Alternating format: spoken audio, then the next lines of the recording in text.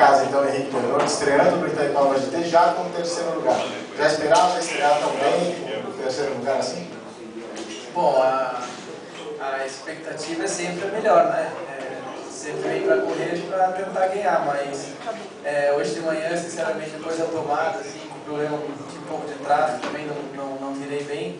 Largando em décimo, chegando em terceiro, pô, não tem nem o que reclamar. É, uma corrida diferente, eu geralmente assim não muda tanto no fim, né, nas corridas que eu participei até hoje. E aqui hoje foi uma surpresa, o Boi vinha, entrei o carro para ele de sétimo, e ele vinha fazendo uma boa recuperação, mas a gente estava longe, de repente tudo mudou, a hora que ele estava em terceiro foi, foi é, não, não posso reclamar mesmo.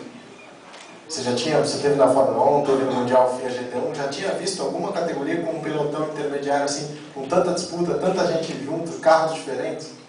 Não, na primeira parte da prova, que é que eu corri, né, que eu, que eu posso falar mais, é, realmente a corrida estava muito divertida. Eu larguei em décimo, na, nas primeiras voltas eu era o, o último ou penúltimo do pelotão, e o pelotão acho que era do segundo até, até onde eu estava.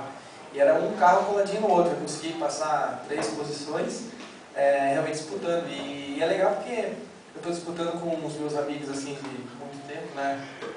Estava é, disputando com o Xandinho, que a gente ganhou juntos na, na, no, no GT1 ano passado. Então, foi, tava uma corrida bem disputada, sabe? Tipo, não, não tinha 5 metros entre um carro e o outro.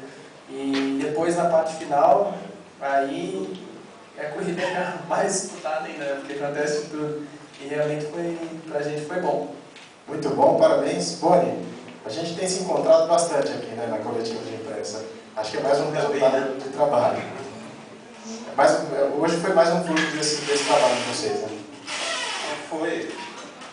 Na verdade, é, gente teve bastante sorte, né? Porque muita gente bateu, outro quebrou, furou um pneu, mas sorte faz parte, né? A gente teve bastante sorte, para tentar é, disputar o campeonato. E acho que esse resultado foi bom.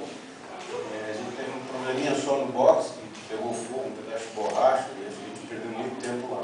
Então talvez pudesse um pouquinho mais disputado, apesar de a gente estar longe do, do do. Mas é bom, ótimo. Estreou um novo companheiro de equipe, como é que vocês se deram? Pilotagem, como é que foi? É, muito melhor, né, Bruno? Você estava falando lá embaixo. é, outra coisa, né, mano? Não, é um, é um, é um privilégio guiar tanto como foi para o Juliano, fez uma parceria boa no final do ano passado é, e no começo desse ano também. Era isso que você estava falando. E, e, é um privilégio guiar para esse pessoal. O pessoal, na verdade, que dá referência para a gente como, como piloto amador, como gentleman driver. Né? Então é um privilégio estar com o Henrique aqui. E, enfim, tentando andar cada vez mais para frente, mais é, para cima e para frente para buscar melhores resultados. Legal, parabéns.